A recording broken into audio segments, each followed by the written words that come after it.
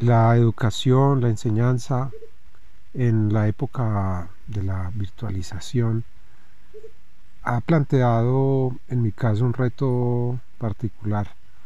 que tiene que ver con lo que desde Jacobson se llama la función fática del lenguaje. Eh, esa función que garantiza, digamos, o que establece eh, la permanencia del canal de comunicación, eh, corrobora el sostenimiento de la interacción comunicativa.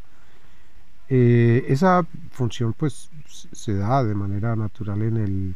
lenguaje, en los momentos en los que nosotros mediante preguntas, que no tienen ningún contenido pues explícito, indagamos eh, por la presencia del otro y por su permanencia en el acto comunicativo. Esa función eh, en las aulas de clase, digamos que se daba de una manera relativamente espontánea, simplemente observando a los estudiantes, eh, el mismo lenguaje corporal, eh, digamos, con un poco de experiencia nos permitía saber de manera prácticamente inmediata, sin ningún tipo de, digamos, de mediación particular, eh, si el estudiante efectivamente estaba ahí, eh, estando sentado en su silla en el salón de clase. La experiencia virtual privilegia especialmente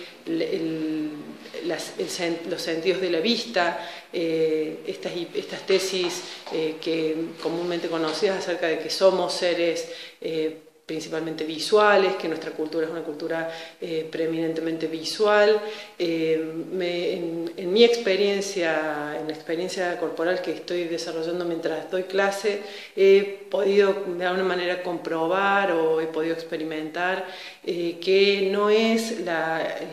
que no es la posibilidad de vernos a través de cámaras lo que está sosteniendo el trabajo docente, sino que por el contrario, como docente, al menos en mi experiencia, eh, siento que me convierto en una suerte de cuerpo, de cuerpo fónico, eh, ni siquiera un cuerpo sonoro, es un cuerpo fónico, porque es un cuerpo, eh, la voz entendida como un cuerpo que vehiculiza palabras y sentidos. Por varias razones, por problemas de conectividad o por problemas tecnológicos, eh, muchos de los alumnos eh, eligen no ver la imagen, eh, la imagen del docente dando clase, pero no renuncian a la posibilidad de escucharlo. Y esto me parece que de alguna manera nos está introduciendo en una dimensión nueva, que no, en la cual la totalidad de la experiencia corporal es llevada a un punto de, a, un, punto de expresión que en general no tenemos desarrollado. Actualmente, en las, en las interacciones eh, eh, virtuales, eh, primero muchas veces los estudiantes apagan el, el, video, esto a veces porque simplemente la, la conexión lo exige, no hay suficiente ancho de banda y entonces ahorramos datos apagando el video y a veces por otras razones. Y este hecho particular eh, a mí me ha supuesto como una especie de trabajo inferencial suplementario en las clases que a veces resulta